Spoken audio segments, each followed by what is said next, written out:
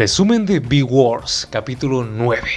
Luther declara en contra de la organización DNS y explota al ver que también amenazan a su ex mujer y termina diciendo que la DNS nunca quiso buscar una cura y solo querían detectar el gen depredador para matar a los infectados vampiros en lugar de curarlos. Porque recordemos, estamos hablando de humanos a pesar de todo, por lo que en el Senado se arma todo un revuelo que repercute sobre el resto de la nación.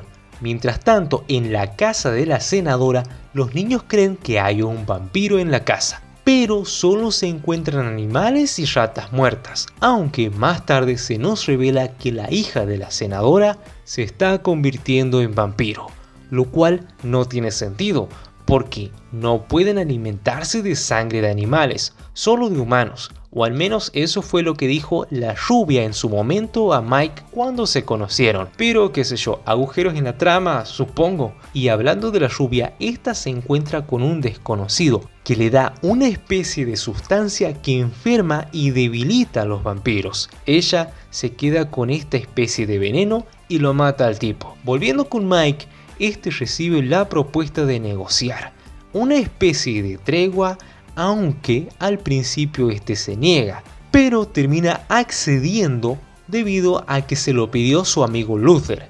Estos establecen algunos acuerdos y de paso Luther le habla de la sangre sintética para que los vampiros puedan alimentarse de ella, entre otras cosas. Y al final vemos al viejo de la DNS inyectándose un coso negro medio raro.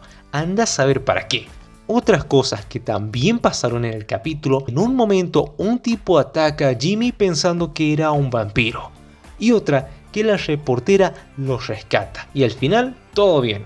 Otra, en un momento Mike y su pareja van hasta una fiesta y se encuentran con la hija del presidente.